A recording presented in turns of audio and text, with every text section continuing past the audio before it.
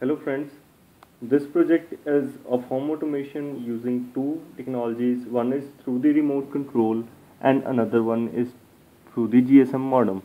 Now what we are doing here is if the person is within the house, he can operate the two devices. One is the bulb, another one is fan using the remote control and the display will be uh, on the LCD where status is shown like status is on for bulb as well as for the fan. This is used actually uh, to know whether uh, the operators are working or not. Let it be i'm i'm switching it on and the bulb is not getting it on. So the lcd will tell us that it is on but your bulb is not working.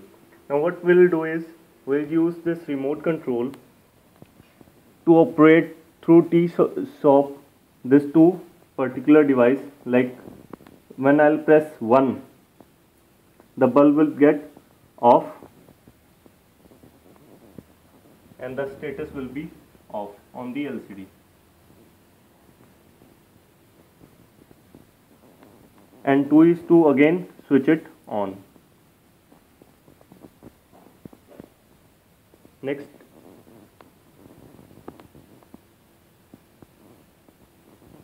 Next is if I press 3 it will switch off the fan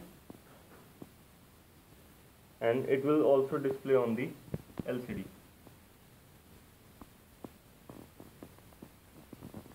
now if I press switch 4 it will again switch on the fan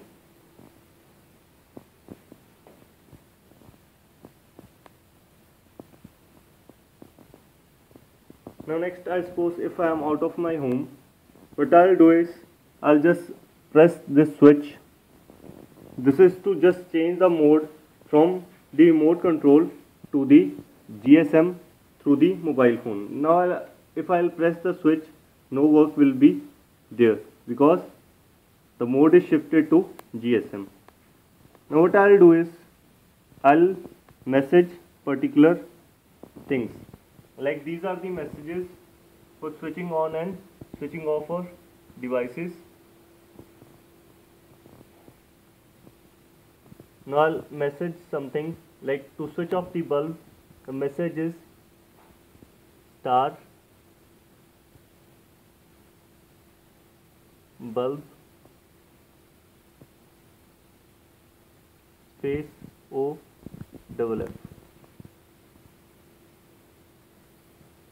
okay I'll de deliver it to the number that is put it on the GSM modem.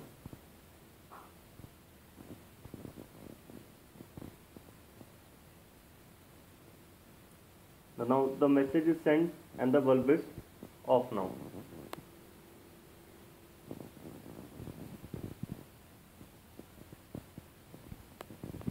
So this is my all project which is designed on 8051 microcontroller the switching work is done through the latch IC which is switching between the T-SOP that is the remote control as well as the GSM modem.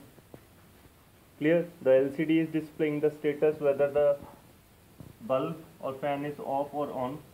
Here we are using relay for the switching of the fan as well as bulb because the fan is working on 12 volt and the bulb is working on AC supply of 220 volt and this microcontroller is actually giving an output of 5 volt. So for switching purpose we are using a relay circuit. That's all from my project. Thank you